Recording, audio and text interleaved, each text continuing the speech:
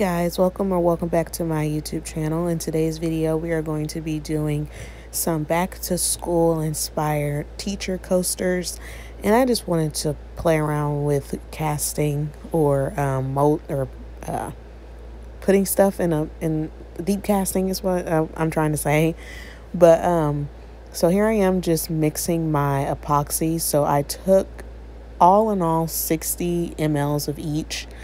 Um, of my part A and my part B just because I wanted to have enough to cover my pencils, my colored pencils, my crayons, my um, thumbtacks, my um, paper clips that I got from work, and also my glitter. So here I am just showing you how thick I made my base. Now I did not have to make this thick, like how thick it is, like about an inch thick.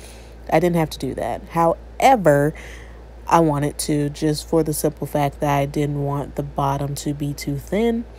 Um, so here I am. Um, this first coaster is pretty much in real time. So I took my pencil. All of this I found in my house. So um, yeah, so I took my pencils, I took my paper clips, and I just laid them out sort of strategically. But I knew that I wanted everything to be kind of spaced out. Like I knew I wanted each color of the paper clip. I knew I wanted each color of the thumbtack. And then for the purple colored pencil and the black or the white crayon, I went with sort of like for instance, the white crayon I did black and white. And then I did um, I paired it with some glitter. So here I am just going through seeing what kind of paper clip I want to use. Um, yeah, and I was like, you know, it doesn't need any more paper clips, I don't think. So I was just playing around with it, and that's kind of what you want to do. Um, so when you're pouring your resin into the mold, you want to make sure that it is covering everything that you are wanting to seal. So um, that's the glitter that I wanted to use. It's pretty much a chunky glitter that is green. It has green hearts, red hearts, and some white dots. I thought it was pretty. It looks like Christmas glitter, but it's pretty. It goes pretty well with the back to school theme that I was going for. So, back to what I was saying. So, you want to make sure that you're casting is the word that I'm looking for. You want to make sure you're casting your objects well. So I ended up putting a second layer of resin and my second layer I only did 30 mLs of each of part A and part B. And I'll insert a clip here. And um, so in my part, in my second part, when I did it, I pretty much just went over it to make sure that it was covered. I did not sand anything or anything like that. Um, it wasn't necessary.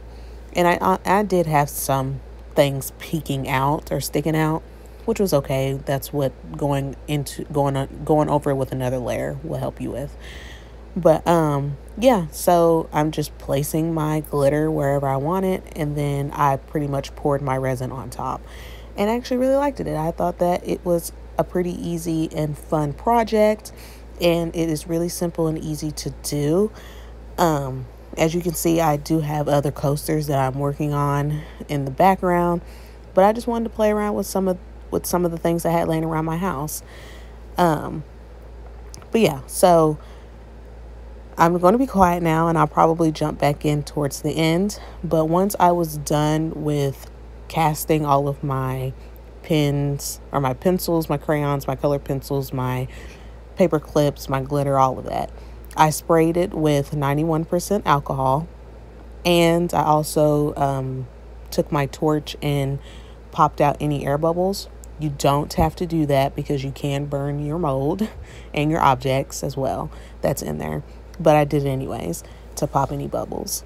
But um, yeah, I'll come back in the video towards the end and just kind of tell you guys. I did let each layer sit for 24 hours. I do want you guys to know that. Please let this sit a day before you do anything to your resin, to your coaster. But um, yeah, so this is in real time. The next two are going to be a little bit sped up. But I hope you guys enjoyed this video. Don't forget to like, comment, and subscribe, and I will be back for my final thoughts.